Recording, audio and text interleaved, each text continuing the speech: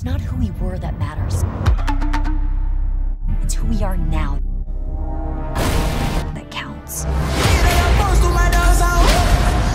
Why don't you come over here and find out?